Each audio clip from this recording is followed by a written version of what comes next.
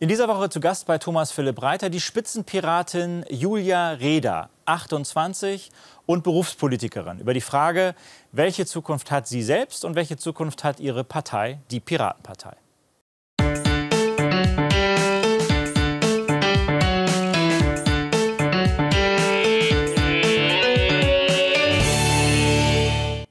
Und ich bin Thomas Philipp Reiter. Bei mir zu Gast ist heute Julia Reda, 28 Jahre alt oder jung, wurde als Spitzenkandidatin der Piratenpartei Deutschland 2014 ins Europäische Parlament gewählt. Schon mit 16 Jahren wurde Julia Reda politisch, nämlich als Mitglied der SPD, trat dort aber 2009 wieder aus und wurde 2010 Bundesvorsitzende der Jugendorganisation ihrer Partei. Hier im Europäischen Parlament hat sich Julia Reda der Grünen-Fraktion angeschlossen. Julia Reda, herzlich willkommen in meiner Sendung. Hallo. Beleidige ich Sie eigentlich, wenn ich Sie als Berufspolitikerin bezeichne? Nee, eigentlich gar nicht. Also als die Piratenpartei angefangen hat, da hatten viele von uns äh, die Idee, einfach nur die technische Expertise in die Politik zu bringen. Aber inzwischen haben wir schon gemerkt, dass es auch sinnvoll ist, wenn Leute mit einem gewissen technischen Know-how sich auch Vollzeit mit Politik beschäftigen. Also Sie schleifen sich schon ab und werden zur normalen Politikerin glaube, es ist wichtig, dass man das nicht sein ganzes Leben lang macht, aber ähm, natürlich als Abgeordnete irgendwelche Nebentätigkeiten zu haben und nebenher vielleicht noch irgendwie eine Anwaltskanzlei oder so zu leiten, wie viele andere Kolleginnen und Kollegen das machen, ist auch nicht Sinn der Sache. Mhm. Fühlen Sie sich denn wohl im, im Kreise der Grünen? Sie sind ja keine Grüne, Sie sind ja Piratin, äh, aber dort in der Grünen Fraktion. Ähm, wie, wie geht das da? Also am Anfang war es schon teilweise ein bisschen Kulturschock. Äh, die Art und Weise, wie dort zu Entscheidungen gekommen wird, ist ganz anders als den Piraten. Es wird viel weniger abgestimmt zum Beispiel. Aber ähm, die europäischen Fraktionen sind auch insgesamt ein bisschen pluralistischer als die Parteien, die man vielleicht aus Deutschland kennt. Und es gibt noch andere Abgeordnete, die nicht zu den Grünen gehören und trotzdem Teil der Fraktion sind. Und also mein Umgang damit war, dass ich mir dann gesagt habe, okay, wenn ich jetzt schon mit den Grünen arbeite, dann kandidiere ich auch für den Fraktionsvorstand und bin dort eben jetzt ein Mitglied, das auch die unabhängigen äh, Mitglieder der Fraktion äh, vertritt.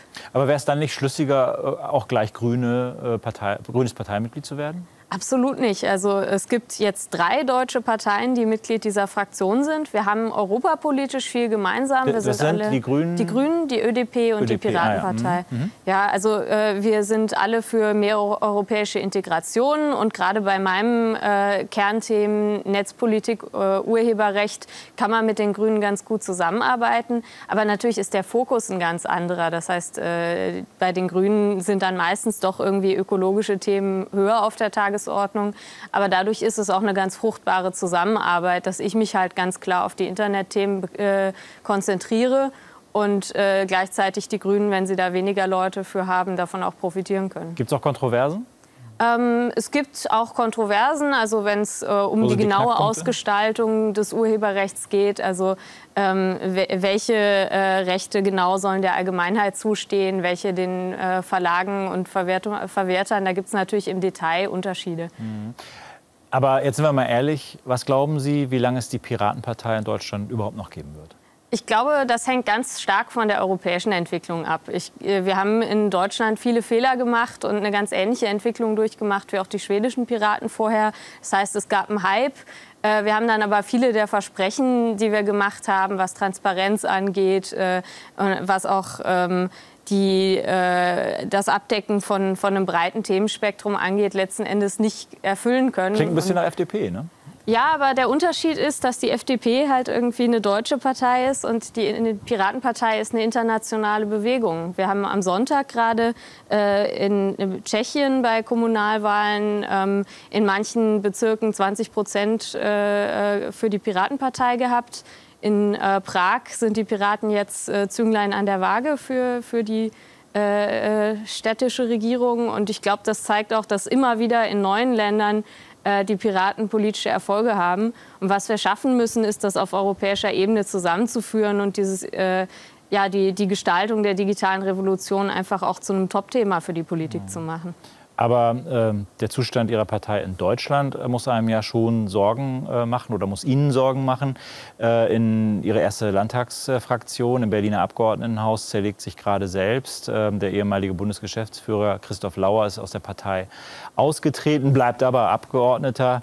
Das sind ja chaotische Zustände. Ich würde sagen, gerade die Berliner Abgeordnetenhausfraktion ist ein Beispiel für besonders gute Arbeit. Es stimmt, dass da einige aus der Partei ausgetreten sind, aber diese Fraktion hat es eben geschafft, die Leute trotzdem in der Fraktion zu halten und gemeinsam äh, weiter wichtige Politik zu machen. Zum Beispiel eben Transparenz in das Desaster des äh, Berliner Flughafendebakels zu bringen.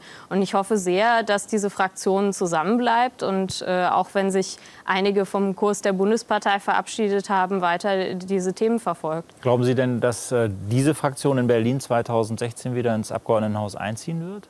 Ich glaube, bis dahin äh, ist, vergeht noch eine ganze Menge Zeit. Ich würde es mir sehr wünschen, weil ich glaube, dass sie auch gemessen an ihrer Größe äh, viel mehr erreicht haben äh, als äh, viele andere Fraktionen.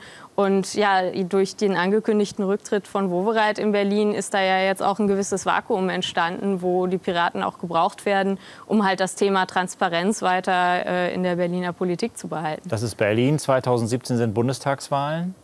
Ja, also ich, ich äh, sehe auch, dass die Situation der deutschen Piraten im Moment extrem schwierig ist. Und äh, das hat äh, viel auch damit zu tun, dass äh, wir zu wenig Strukturen haben, um äh, inhaltliche Streitigkeiten äh, auf einer sachlichen Ebene zu einem Ergebnis zu führen.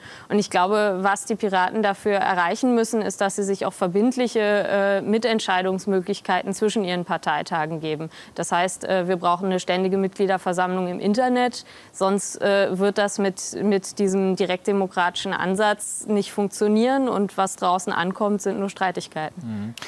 Das ist die deutsche Politik. Gucken wir mal nach Brüssel. Brüssel ist ja nicht nur europäische Hauptstadt, es ist ja auch der zweitgrößte Lobbyistenstandort mhm. der Welt. Sind Sie schon lobbyiert worden? Ja, äh, ich habe mich gerade heute mit äh, den Vertretern der äh, britischen ähm, Domain-Registrierung getroffen. Also das sind die Leute, die die .co.uk Domains äh, vergeben. Die möchten mir zum Beispiel erzählen, äh, wie das Internet international reguliert werden soll. Ähm, mein Umgang ist damit, dass ich gerade einen Kalender bastel, der hier mit dem IT-System äh, des Parlaments funktioniert, dass ich eben diese Termine direkt, sobald ich sie ausmache, auf meiner Website veröffentlichen kann und ähm, dann nach Möglichkeit also äh, auch für die ähm, äh, Themen, für die ich in den Ausschüssen zuständig bin, die Dokumente veröffentliche, die mir dazu zugeschickt werden, damit die Leute eben sehen können, wenn ich irgendeinen äh, Änderungsantrag einreiche, dass der nicht eins zu eins aus irgendeinem Lobby Lobbypapier kopiert ist. Aber mh, hm, wie wichtig sind denn äh, Termine mit, mit Vertretern von Unternehmen, also Interessenvertretern, Lobbyisten? Ähm, lehnen Sie das im Grundsatz ab oder kann sich im Prinzip jeder an seine Abgeordnete wenden mit äh, dem Ziel, äh, schon auch sie in, in bestimmte, bestimmter Hinsicht zu beeinflussen, sie auf bestimmte hm. Dinge hinzuweisen? Wie, wie gehen Sie generell damit um? Also ich finde Lobbyismus grundsätzlich äh, kein Problem. Es ist ja auch so, dass äh, zum Beispiel sich die internetpolitischen Organisationen in der EU zusammen in einem europäischen Dachverband zusammengeschlossen haben, European Digital Rights. Der äh, veranstaltet hier so einmal im Monat ein, ein informelles Bier trinken, netzpolitisches Bier in Brüssel. Da gehe ich auch schon mal hin und natürlich erzählen sie mir dann äh, äh die neuesten Probleme in Sachen äh, Meinungsfreiheit im Internet zum Beispiel. Ähm, was halt wichtig ist, ist, dass äh, es eine Waffengleichheit gibt. Einerseits zwischen solchen zivilgesellschaftlichen äh, Organisationen und auf der anderen Seite von Lobbyvertretern äh, von, von äh, Firmen. Das heißt, ähm, diese Organisationen müssen sich registrieren, nicht nur beim Europaparlament, wo das bisher freiwillig ist, sondern äh, gerade auch bei der Kommission und äh, dem, dem Europäischen Rat, wo teilweise der Lobbyismus noch viel intransparenter ist bislang und ähm, die gleichen Dokumente, die äh, Firmen oder Lobbyverbänden äh, von Seiten der Kommission zur Verfügung gestellt werden müssen, müssen auch öffentlich für alle im Internet stehen. Mhm. Jetzt haben Sie ja gerade ähm, kritisiert, dass es Kolleginnen und Kollegen von Ihnen gibt, die Lobbying sozusagen parallel zu ihrer Abgeordnetentätigkeit betreiben oder zumindest eine Rechtsanwaltskanzlei unterhalten beispielsweise. Mhm.